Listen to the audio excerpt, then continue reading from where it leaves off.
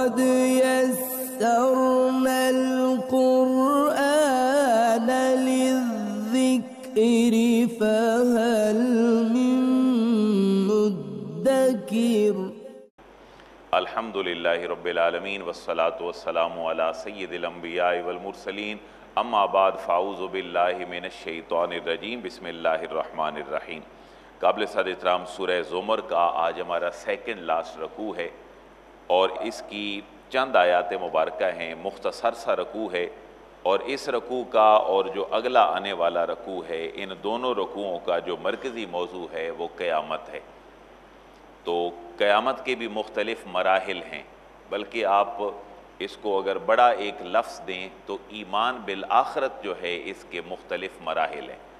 एक बाज़ अवकात इंसान की मौत अचानक होती है, बाज़ अवकात इंसान बीमार होता है कुछ उसका अपना जहन बनता है, कुछ रिश्तेदारों का, और इसी हवाले से वो मौत के मुँह में चले जाता है। ये दोनों मौतें अपने अपने एतबार से इंसान के लिए नेमत हैं, जहमत नहीं है। इंसान अगर बीमार हो के मरता है तो अल्लाह ताला इस बीमारी के वजह से उसके गुनाह माफ़ फरमा देता है, जितने अरसा वो परेशानी में रहता है। और अगर वो सडन कहीं मौत में मुँह में चला जाता है तो वो सख्तियों से थोड़ा महफूज हो जाता है। लेकिन दोनों सूरतों में उसने कुल्लो नफ्सिन ज़ायक़तुल मौत, उसने चखना है। इस आँख बंद करने के बाद अगली ज़िंदगी आलम बरज़ है। ये उसने कब्र में गुजारनी है। बरज़ कमाना होता है दरमियान। तो जो ज़िंदगी उसने आलम दुनिया में गुजारी और जो माशर में उठेगा, उसके दरमियान जो कब्र की ज़िंदगी है, ये आलम बरज़ है। और ये अहल सुन्नत व जमात के अकीदे में बात शामिल है कि बरज़ी ज़िंदगी ये इंसान के ऊपर एक मुकम्मल हाल है, जिसके अंदर सवाब भी है, अजाब भी है। वो कैसे है? वो अल्लाह की शान और कुदरत के मुताबिक। अजाब कबर के और कबर की ज़िंदगी के कुछ लोग आज भी मुनकर हैं। उनका मौक़ है कि बस ये कबर की ज़िंदगी कोई नहीं उसके बाद जो अगला मामला है, वहाँ देखा जाएगा कि क्या होगा। इंसान इस दुनिया में आँख बंद करेगा, कब्र की ज़िंदगी वो पाँच सौ साल हो हज़ार साल हो, एक दस हज़ार साल हो, पचास हज़ार साल हो। तो अल्लाह ताला फरमा रहा है कि ये एज़ाज़ुलज़िलतलर्दो ज़िलज़ालहा व अखराज अखराजतलर्दो अस्कालहा वकाल इंसान माला। इंसान जब उठेगा कब्र से, आज उसका तस्करा है कि जब सूर फूका जाएगा तो वो कब्र से उठ खड़ा होगा इंसान। और वो कहेगा मालहा मैं किधर था? मुझे क्या हुआ? मैं कितना अर्सा यहाँ पे रहा? ये ऐसे ही है जैसे आज हम आठ बजे रात को सोएँ और सुबह चार बजे आँख खुले तो रात के आवाल का हमें पता नहीं है। उठता है बंदा, मैं बड़ी ऐसी कैफियत में हूँ। अल्लाह के हजूर जब इंसान पेश होता है तो वो आलम माशर है। आलम माशर के फिर मुख्तलिफ़ मराहल हैं। जहाँ पर फिर हिसाब किताब शुरू होना है, अल्लाह के हजूर पेश होना है, नबी पाक की शफात होनी है, बाकी अम्बिया की, फिर जन्नत और दो का फ़ैसला होना है और फिर वहाँ पहुँचना है। तो ये एक मुख्तर सा हाल है, ये दोनों रकूओं के अंदर इस चीज़ को बयान किया गया है और ये सूरत चूँकि ज़ुमर मक्की है और मक्के के लोग आखरत के इस हवाले से मुनकर थे कि हमने मरने के बाद दोबारा उठना भी है या नहीं। तो इसको बड़ा महाल समझते थे। तो इस दोबारा उठने को महाल समझने के हवाले से अल्लाह ताला ने उनकी रहनुमाई फरमाई है। और अल्लाह फरमा रहे, महबूब, इनको फरमा दो, जाहिलो जो मैं तुम्हें कहता हूँ, वो मानते नहीं। अपनी अपनी फ़लसफ़े, अपनी लॉजिक सामने रखते हो। जैसे आज हमारे मुख्तलिफ़ जेनों में जो जदीद मॉडर्न जेन हैं, उनकी अपनी लॉजिक्स होती हैं। अल्लाह अल्लाह की कुदरत इस आज के रकू का आखरत के हवाले से जो है, ये मरकज़ी मौजू है। चंद आयात हैं, ये हमारी सेवनटी तक जाएँगी और इनका शुरुआत होंगी चौंसठ से। चौंसठ, पैंसठ, छियासठ, सड़सठ, अड़सठ, उनहत्तर और सत्तर। ये सात आयात जो हैं, ये बड़े सादा से तर्जमे वाली आज का हमारा पूरा रकू है। आऊज़बिल्लिमिनशैतानरजीम बसमीम कुल, ए हबीब ए हबीब मुकर्रम, आप इनको ज़रा फरमा दीजिए, अफ़ा गैर अल्लाह आ का माना क्या, फ़ा का माना पास। गैर अल्लाह अल्लाह के अलावा किसी और के हवाले से तामरूनी, तुम हुक्म देते हो। ए हबीब, आप इनको फरमा दें एल मक्का को, मुनकरीन आखरत को, कि क्या तुम मुझे हुक्म देते हो कि आ बोदो मैं इबादत करूँ। मैं तो तुम्हें हुक्म देता हूँ अल्लाह की तरफ़ से कि तुम अल्लाह की इबादत करो। और क्या तुम मुझे फिर उल्टा हुक्म देते हो कि मैं इबादत करूँ? अल्लाह के अलावा किसी और की? अयोहल जाहिलून ए जाहिलो ए नादानो ए बेवकूफ़ो। अल्लाह का हुक्म मैं तुम्हें पहुंचाता हूँ। इसके बदले में तुम आ, मुझे हुक्म देते हो कि अल्लाह के अलावा तुम किसी और की पूजा करो। तो ये उनका खिताब जो है उनको ये जहालत के साथ है कि तुम जहालत की तारीखियों में हो। अल्लाह का नबी जो हुक्म दे रहा है उसको मानो चे जाए कि तुम अगला हुक्म जो है वो नबी को दो कि आप हमारी बात ये मुख्तलिफ़ अंदाज थे अहल मक्का के। बाज़ अवत वो ये कहते कि हम दिन बांट लेते हैं, सैटरडे, संडे, मंडे आप ले लें, ट्यूसडे, वेंसडे, थर्सडे हम ले लें और बस मिलजुल के काम चला लें। आप हमारे खुदाओं को बुरा ना कहें, हम आपके खुदाओं को बुरा नहीं कहते। तो ये मुख्तलिफ़ उनकी तरफ़ से पैकेज थे।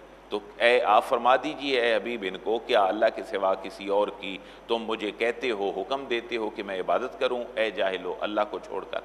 ऊह का व इलल्लजीन मिन कबल ये एक बड़ा हिस्टोरिकली जवाब है उनको, क्योंकि मक्के के लोग भी ये दावेदार थे कि हम नबियों की औलाद हैं। हम तो इब्राहिमी हैं, हज भी करते थे मिना मुजलफ़ा भी जाते, और आमाल कुर्बानी के भी बजा लाते, इब्राहिमी होने के नाते। लेकिन जो तोहद खालिश थी, उसका इकरार नहीं करते थे। और ये दावा भी था कि हम तो नबियों की औलाद हैं। इब्राहिमी हैं हम। अल्लाह ताला ने फरमा रहे, महबूब, इनको ये फरमा दें कि जो आपकी तरफ़ वही की गई है और जो आपसे पहले अम्बिया थे, हज़रत इब्राहीम, और उनकी नस्ल में जितने भी अम्बिया थे, जिनसे अहल मक्का वाकिफ़ थे, मुशरकिन और कुफ़ार वाकिफ़ थे, महबूब, इनको ज़रा कह दें कि जो वही उतरी है, उसके कॉन्टेंट्स तो ये नहीं। हज़रत इब्राहीम से लेकर अब तक जो वही उतरी है, उसके मुश्तमिलात और उसके मौजूद ये तो नहीं है कि शिर किया जाए। तुम पता नहीं कैसे इब्राहिमी हो कैसे हज़रत इब्राहिम की तरफ़ अपने आप को मनसूब करते हो, बात हालाँकि ऐसी नहीं है। वाला वालकद ऊह का वाओ का माना और लकद यकीन तहकीक ऊह ये फेल मजहूल है जी, एक्टिव नहीं, बल्कि पैसे वह, पास्ट इनडेफिनेट है। वलकद ऊह और यकीन वही फरमाई गई है इले का आपकी तरफ़। ए हबीब मुकर्रम, आपकी तरफ़ वही फरमाई गई है। वह इलजीना और उन लोगों की तरफ़ भी यही वही की गई है। मिन कबले का, जो आपसे पहले थे, वही क्या थी? लाइन अश रखता कि ए मुखातबो, अल्लाह ताला ने जिनको खिताब किया है, चुना है, अगर तुमने शिरक किया, लाइन अश रखता अगर तुमने शिरक किया लह बतना तो ज़रूर हबत हो जाएँगे, ज़ाया हो जाएँगे आमलों का।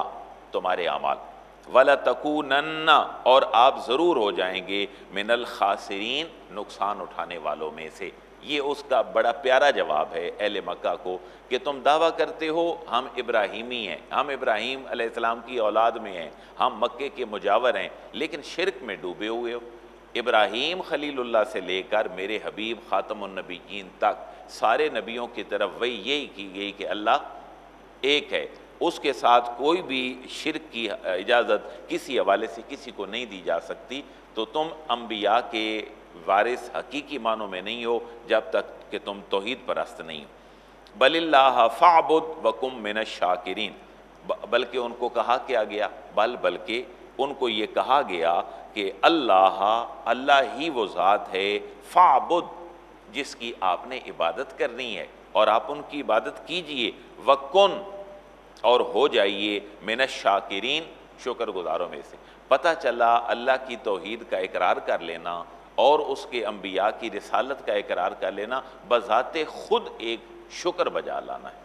ये इसका इकरार है ना जी, ला इला मोहम्मद रसूलुल्लाह। सुबहान अल्लाह वबहमदी ला वला कुव्वता इल्ला बिल्लाजीम सुबहान अल्लाह वबहमदी अदद खल्क ही वजीन तरश ही व मिदाद कलमाती ये सारे अल्लाह की तोहद और उसके कुदरत की कबूल करने के जुमले हैं।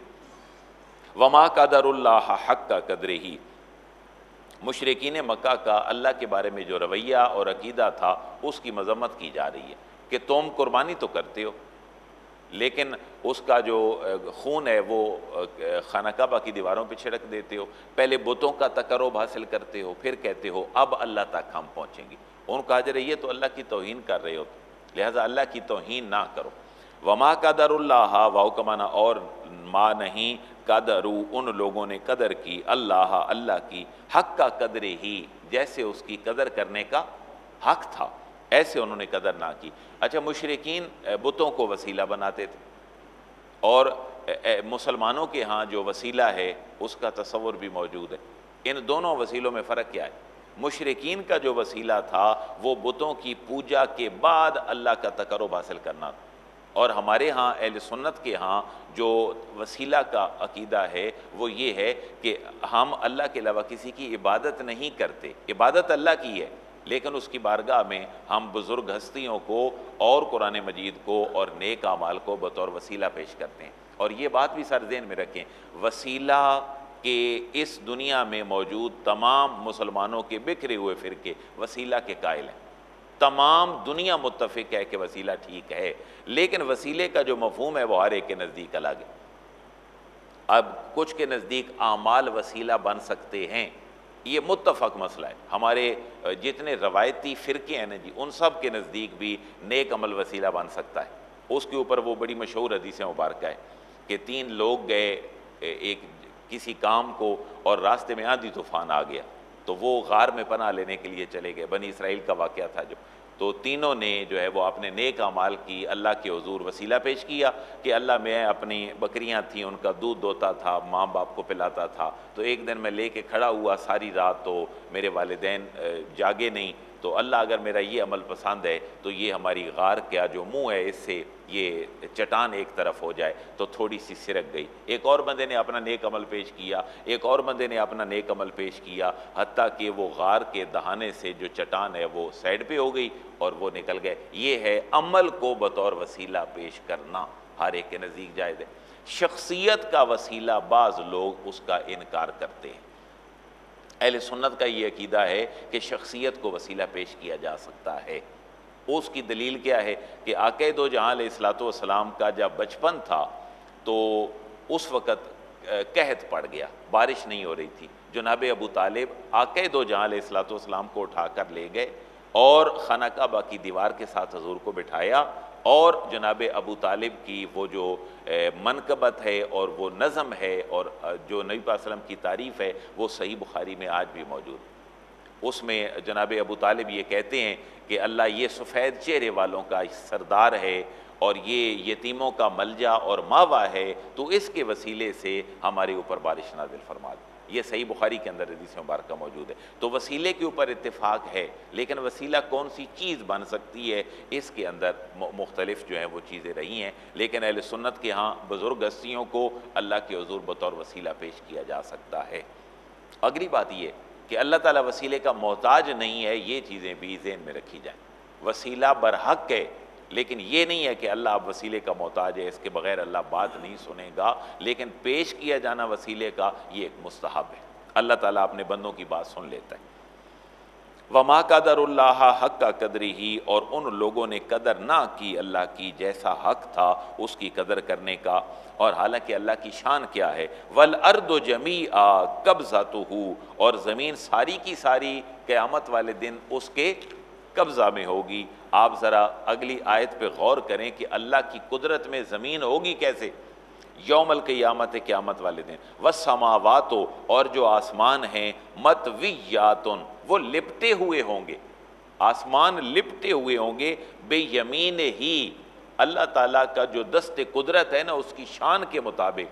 दायां हाथ, एक बॉल और गेंद की शक्ल में ज़मीन व आसमान अल्लाह के हाथ के अंदर होंगे इतनी अल्लाह की कुदरत। है और ये अल्लाह का हाथ कैसे है? ये अल्लाह की कुदरत के मुताबिक है। हम उसको डिफ़ाइन नहीं कर सकते, लेकिन उसकी कुदरत मुराद ली गई है कि तुमने अल्लाह की कदर नहीं की। अल्लाह की कुदरत तो ये है कि ज़मीन व आसमान के अमत वाले दिन अल्लाह के दाएँ हाथ में हदीस मुबारक है एक गेंद और बॉल की शक्ल में होगी।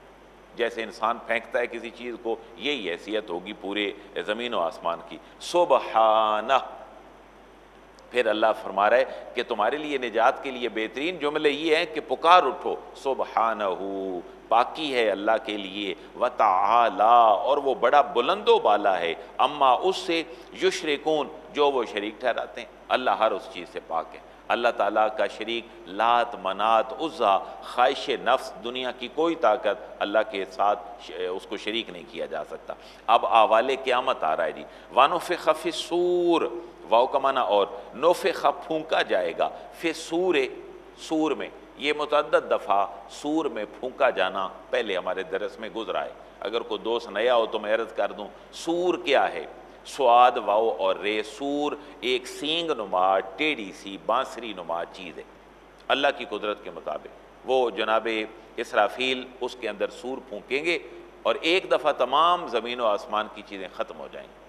और हदीस के अल्फाज हैं कि चालीस के बाद तो इसमें चालीस साल मुराद हैं। चालीस साल के बाद फिर एक दफ़ा सूर फूका जाएगा तो फिर तमाम के तमाम अल्लाह के हजूर पेश हो जाएँगे। इसको कहते हैं नफ़ा ऊला।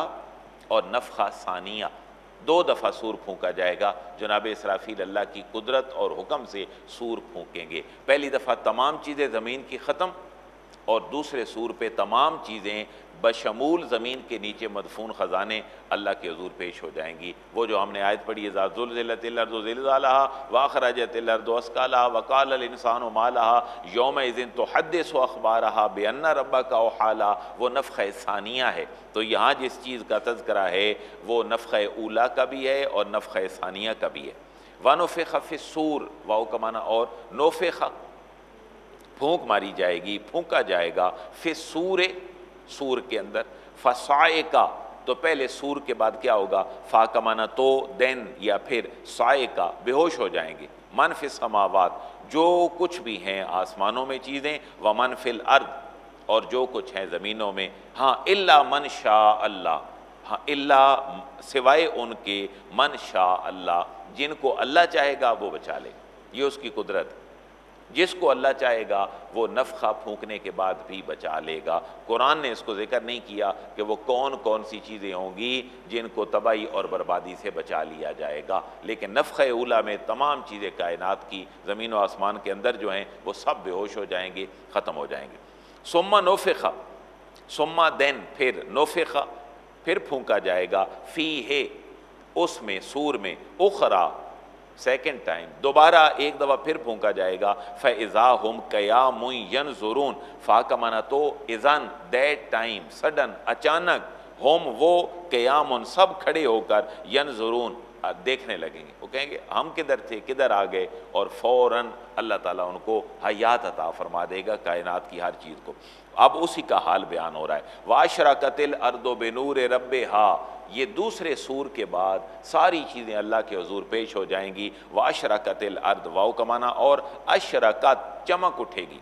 अल अर्दो ज़मीन बेनूर रब हा अपने रब के नूर से सारी ज़मीन चमक उठेगी व वोदे आ और रख दी जाएगी अल किताब व किताब। आमाल नामे जो हैं, वो रख दिए जाएँगे। हिसाब किताब शुरू हो जाएगा। वजी बिन नबीन वाओ कमाना और जी आ लाए जाएँगे। जा ऊ और जा आ फेल माजी एक्टिव है, और उससे जिया जो है, ये पैसे वह मजहूल है। वजी आ और लाए जाएँगे बिन नबी नबीन अम्बिया अब अल्लाह के हजूर अम्बिया पेश होंगे और ये है सर अम्बिया की शफात जिसका बाकायदा सही बुखारी मुस्लिम में बड़ी तवील हदीस है कि तमाम उम्मतें सबसे पहले हज़रत आदम इस्लाम के पास जाएँगी, हज़रत आदम के बाद हज़रत नू इस्लाम के पास आएँगी, होते होते होते फिर आखिर में वो हजूर की खिदमत में हाजिर होंगी। हर नबी का उनको जवाब क्या होगा? इज़ हबू इला गैरी, आज मेरे अलावा किसी और के पास जाओ।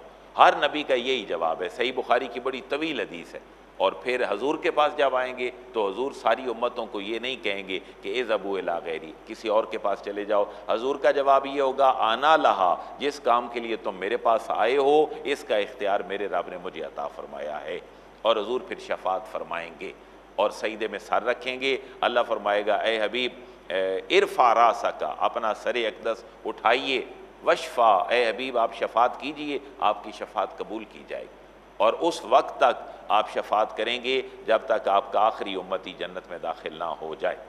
तो ये ये इशारे हैं, अहादीस में तफसील है। ववद अलकिताब और आमाल नामे रख दिए जाएँगे। वजी बिन नबीन और लाए जाएँगे अम्बिया व शहदा और शहदा ला जाएँगे, गवाह ला जाएँगे व कोदिया और फैसला कर दिया जाएगा बेन हम उनके दरमियान बिल हक के हक के साथ। ऐसा नहीं होगा कि कोई मिस प्रिंट हो गई हो चीज़ कि एक बंदे की गलती दो दफ़ा लिखी गई हो। नहीं, बिल्कुल वकुद या बैन बिल हक हक के साथ उनके दरमियान फैसले कर दिए जाएँगे। वहम लायुजलमून और उनके ऊपर एक राई बराबर भी जुल्म नहीं किया जाएगा।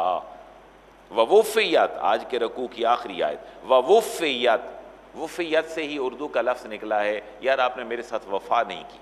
वफा का मतलब क्या होता है? पूरा पूरा हक अदा कर देना। वफ़ियत पूरा पूरा बदला दिया जाएगा, कुल्लो नफसिन, हर शख्स को मा आमिलत जो उसने अमल किया है, उसको पूरा का पूरा उसका बदला दिया जाएगा। वह हुआ आलमो, और वो खूब जानता है, बेमा यफ़ अलून जो कुछ वो कर रहे हैं। ऐसा नहीं हो सकता कि ज़िंदगी में कोई ऐसी हम अंधेरे और तनाई में चल के को अमल कर लें कि जिसमें जिसका अल्लाह को पता ना हो नहीं, वह वह आलम बिमा यफ़ इंसान जहाँ जहाँ जो भी कर रहा है, अल्लाह तबारक व ताली उसको सिर्फ़ जानता नहीं है। आलम बहुत ज़्यादा जानता है, उतना इंसान शायद खुद नहीं जानता जितना अल्लाह जानता है। ये सत्तर नंबर आयत तक है जी। इसके बाद पाँच आयात और रह गई हैं, वो पचहत्तर तक अलहमदिल्ला हमारा फिर ये रकू हो जाएगा। और कल जोमर का लफ्ज़ दो दफ़ा इस्तेमाल होगा।